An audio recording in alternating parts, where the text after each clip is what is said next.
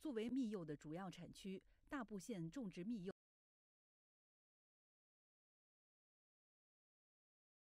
是中国最大的红。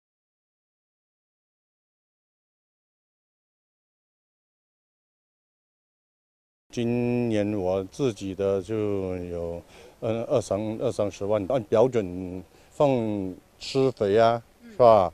啊，喷药啊。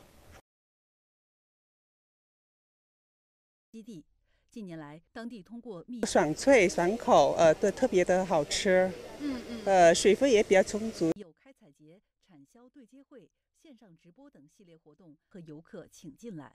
目前呢，我们的呃蜜柚种植呢有二十二万亩，那红油蜜柚呢就有十三万亩，呃，这个产量呢今年是能达到三十二万吨。近年来，大部县逐步实现了蜜柚产业化、标准化、品牌化，并建设了省级蜜柚产业。